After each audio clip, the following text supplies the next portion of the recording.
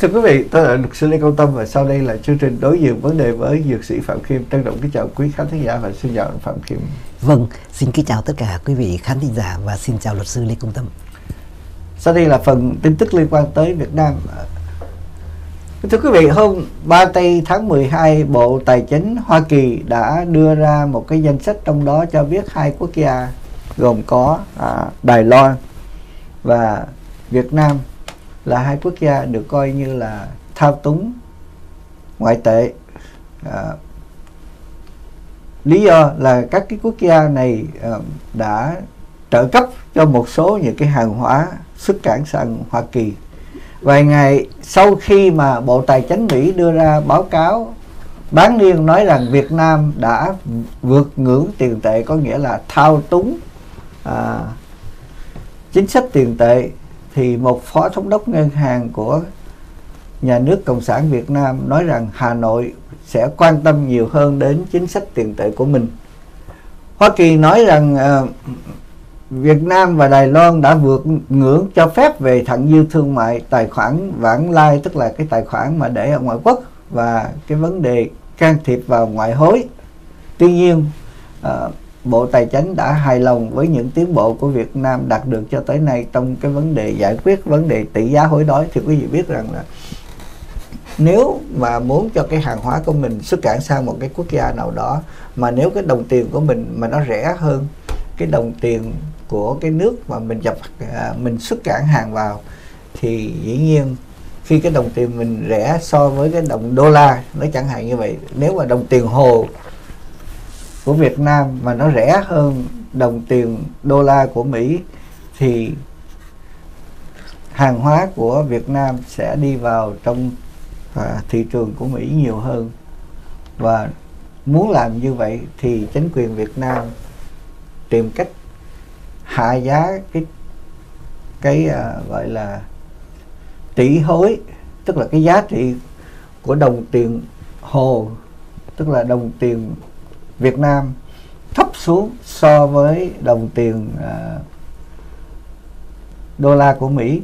Thì quý vị biết trước đây à, một đồng à, đô la ăn 13.000 đồng tiền hồ rồi từ từ nó lên 16.000 17.000 bây giờ nó tương tương đương vào khoảng giá chính thức là vào khoảng 23.000 có nghĩa là một đồng đô la đổi 23.000 không có một cái quốc Việt Nam là một trong những cái quốc gia mà có đồng tiền rẻ nhất trên thế giới. À, có hai nước mà có tiền rẻ nhất trên thế giới là Việt Nam và Venezuela. Do đó uh, Việt Nam lần hồi lọt vào trong cái danh sách sổ đen của chính quyền Mỹ là một trong những cái quốc gia mà gọi là thao túng chính sách tiền tệ là làm dùng cái chuyện đó. Ngoài ra còn một phương pháp khác nữa mà nhiều quốc gia trước đây à, đã thực hiện nhưng mà lần hồi thì chính quyền Mỹ đã ngăn chặn được cái chính sách đó. Có nghĩa là tài trợ cho các cái công ty xuất cảng hàng hóa ra.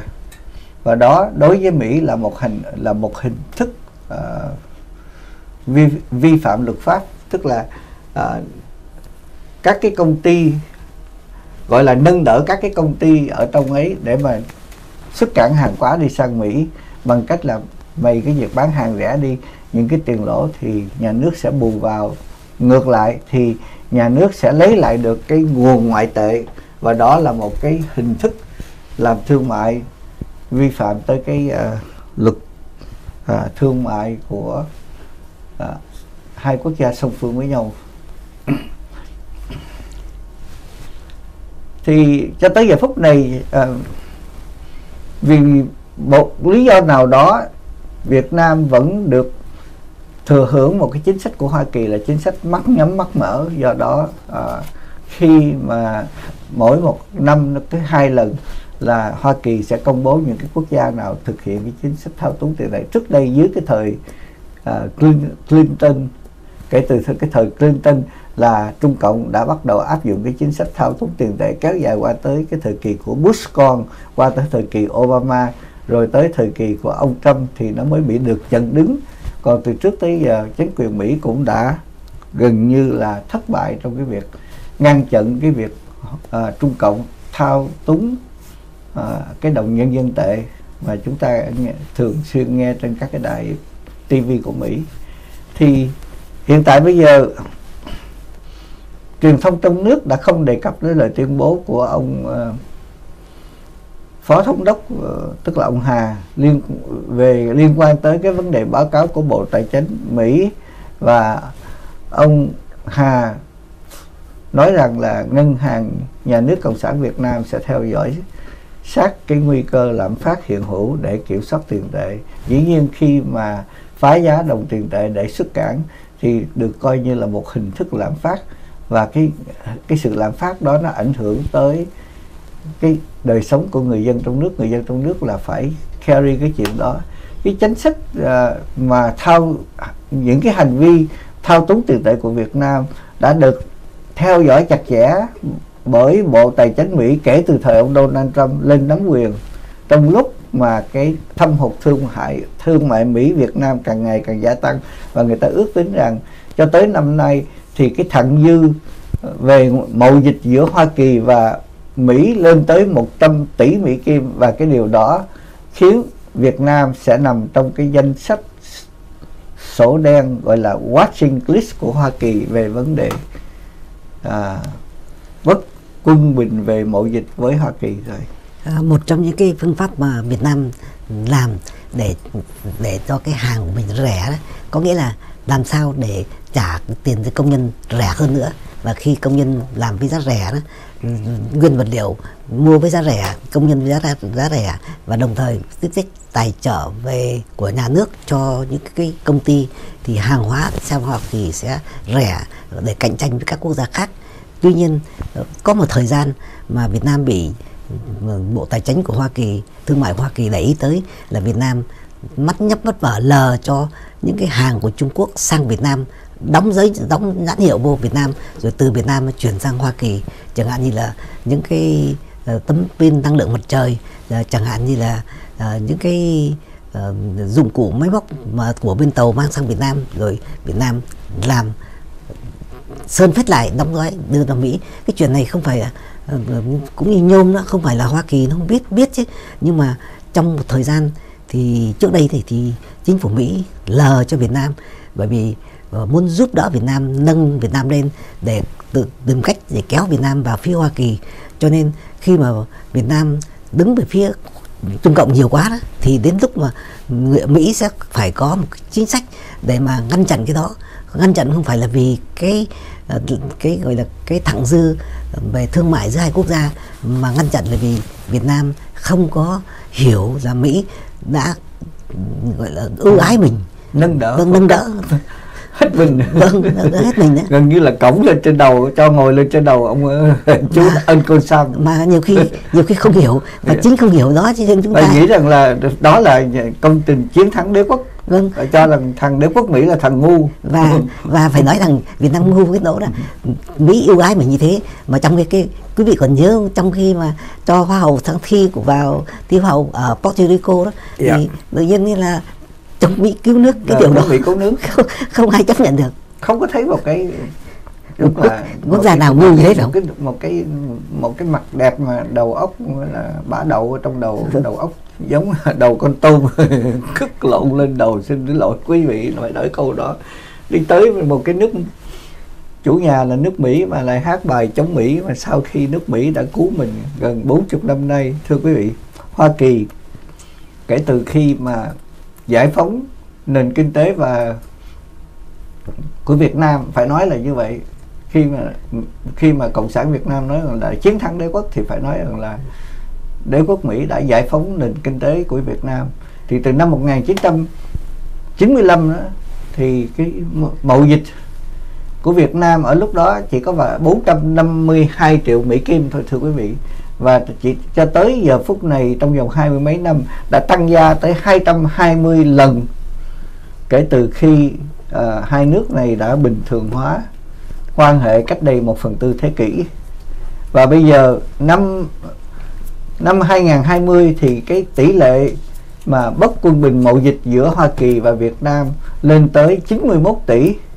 Và cho tới năm 2021 người ta nói rằng có thể uh, Việt Nam và Mỹ bất quân bình mậu dịch lên tới 100 tỷ. Và đó là cái lý do mà cái thời ông Trump đã từng lên nhiều lần lên tiếng kể cả khi ông đi tới Đà Nẵng mà ông cầm cờ cộng sản. Cờ đỏ sao vàng phất phất phất phất. Nhưng mà ông nói rằng là ê uh, quý quý you hiện tại đã có một cái ngân quỹ thặng dư gần hơn 80 tỷ. Thì bây giờ quý vị giải quyết làm thế nào phải mua hàng hóa từ Hoa Kỳ? Tức là phải mua thịt heo phải mua uh, bột mì phải mua đậu nành vân vân và vân vân. Để mà cái mối bất quân bình mậu dịch giữa Mỹ và Hoa Kỳ nó được giảm xuống. Và đó là một trong những cái mục tiêu mà hiện tại bây giờ chính quyền cộng sản rất lấy lòng lo ngại. Bởi vì hiện tại sau cái vấn đề cái chính sách à, mà phòng chống đại dịch thất bại của Việt Nam do cái việc áp dụng một cái chính sách là phòng chống đại dịch trung ương một cách ngu xuẩn và khiến cho dân chúng đã bỏ các cái thành phố kỹ nghệ lớn như Sài Gòn, Bình Dương, à, Biên Hòa, Đồng Nai chạy về lại nguyên quán của mình và khiến cho tất cả các cái công ty sản xuất hàng hóa để xuất cảng sang Hoa Kỳ gần như là đã đóng cửa một thời gian lớn. Và khiến cho cái nền kinh tế xuất cảng của Việt Nam gần như là đã bị hạ cánh một cách không an toàn, tức là hoàn toàn bị crash cho nên cho tới giờ phút này thì tình trạng kinh tế ngân sách của chính quyền cộng sản Việt Nam hầu của Việt Nam hầu như là trống rỗng. Và muốn trở lại một cái chính sách bình thường thì Việt Nam phải cần có một cái số ngoại tệ khá lớn. Mà cái ngoại tệ khá lớn cái nguồn ngoại tệ mà đi tới Việt Nam thì nó chỉ có ba nguồn ngoại tệ. Thứ nhất là vấn đề xuất cảng vấn đề thứ hai là vấn đề viện trợ. Viện trợ có à, có có hoàn trả viện trợ cho không? Viện trợ vì được tặng giữ vì đi ăn mày. Và sau cùng là khúc ruột ngàn dặm là tất cả những tiền kiều hối của những người Việt Nam từ ấy gửi về cho gia đình phải đi vào trong cái hệ thống ngân hàng của à, nhà nước. Thì người dân trong trước đây thì người dân được lãnh tiền đô la trực tiếp nhưng mà kể từ khi có Covid thì tất cả những cái tiền đô la từ ngoại quốc kể cả Việt Nam gửi về cho thân nhân ở trong nước phải đi qua đi vào ngân hàng. Và người thân nhân trong nước chỉ được lãnh tiền hồ. Do đó à, là một cái nguồn ngoại tệ tương đối khá lớn. Nếu những cái nguồn ngoại tệ này mà nó bị vì lý do nào bốc hơi hay là vì lý do nào bị kiểm soát chẳng hạn như uh, chính quyền Hoa Kỳ có thể siết chặt lại bằng cách đánh thuế những cái hàng hóa của Việt Nam nhập cảng à, xuất cảng vào trong nước Mỹ chẳng hạn như giỏ ruột xe à, hải sản quần áo may mặc đồ à, trang bị ở trong nhà trong nội thất tức là gọi là trang trí nội thất. Tất cả những cái hàng hóa mà nhập cảng vào Việt vào Hoa Kỳ từ Việt Nam mà nếu mà phải bị chịu một cái thuế suất như Trung Cộng thì Việt Nam sẽ bị khốn khổ. Và đó là những cái mối lo mà nếu không có cái nguồn ngoại tệ đổ vào cho chính phủ Việt Nam thì Việt Nam sẽ phải đi tới tình trạng gọi là phá giá đồng tiền Việt Nam thôi. Vâng, thưa quý vị, lãnh đạo của không có cần cộng, phải là kinh tế gia đại vâng, tài gì cộng, cộng, cộng, cộng sản Việt Nam cái số 100 tỷ mà chênh lệch nhau ờ, giữa Hoa Kỳ và và Việt Nam buôn bán với nhau 100 tỷ quý vị tưởng nhiều nó rất nó đâu có bao nhiêu. Bởi vì cái số những hàng hóa của Việt Cộng mang sang đây đó, nó chỉ là hàng những hàng ừ, không có tính cách cao cấp, chẳng là toàn là những đồ gia dụng vớ vẩn thôi. Thành ra ờ, nếu mà cộng sản Việt Nam không có tính kinh cách để mà làm thế nào để mà cho Hoa Kỳ cảm thấy thỏa mãn thì lúc đó đó, Mỹ vẫn có thể có những cái chính sách khác. Thay vì mua của Việt Nam, thì Mỹ bắt đầu nhập những hàng của Singapore của Hồng Kông ở uh, Singapore của uh, Afghanistan uh, của Bangladesh chẳng hạn hoặc là của Ấn Độ vào Việt vào Mỹ thì tất nhiên là cái số hàng của Hoa của Việt Cộng sẽ không còn không còn cái chỗ để mà vào Mỹ nữa. Và từ đó, đó cái sự chênh lệch mậu dịch đó, nó sẽ sẽ sẽ giảm xuống. Cho nên cộng sản Việt Nam phải biết rằng những thứ gì mà bây giờ có thể mua của Hoa Kỳ được chẳng hạn máy móc là những cái mà nó đáng giá cao cấp để có thể mua về Việt Nam chẳng hạn. Hoặc là ở tại Việt Nam cần những cái, chẳng hạn như là cái ờ, cái khí khí đốt mà hóa lỏng ép từ Hoa Kỳ mang sang Việt Nam để chạy các máy chẳng hạn.